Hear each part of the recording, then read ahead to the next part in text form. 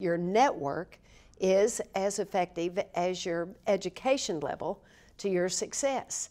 And in societies where women might be, not have really the opportunity to build the kind of networks that we can build in the United States, the idea is to bring women all from the same country.